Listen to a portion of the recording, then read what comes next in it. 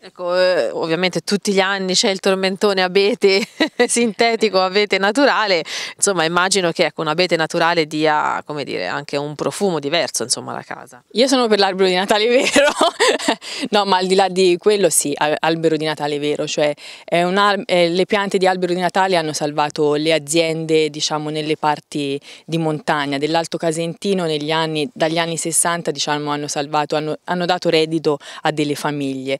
Gli abeti del Casentino stanno per entrare nelle case degli italiani per le festività imminenti. Diverse le dimensioni e le varietà che dal 1960 sono coltivate in provincia di Arezzo ed esattamente nei comuni di Montemignaio e Castel San Niccolò, Alto Casentino. Bucano un pochino, però è una cosa che si fa volentieri, una volta l'anno, però sì, albero di Natale vero. Una coltivazione importante non solo per la qualità dell'aria che garantisce, ma soprattutto per aver rappresentato una fonte di reddito per tante famiglie e ancora oggi lo è.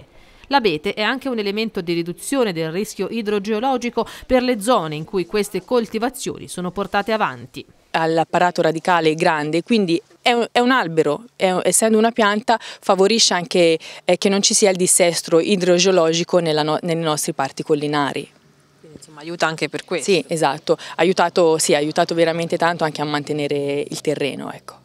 Pochi ma importanti gli accorgimenti per chi sceglie di addobbare la propria abitazione con un abete vero. Innanzitutto, rispetto alla data di acquisto, portarlo in abitazione soltanto quando si decide di addobbarlo, altrimenti lasciarlo fuori all'aria aperta. Va annaffiato una, massimo due volte a settimana, oppure si può mettere del ghiaccio sulle radici in modo che l'acqua filtri lentamente.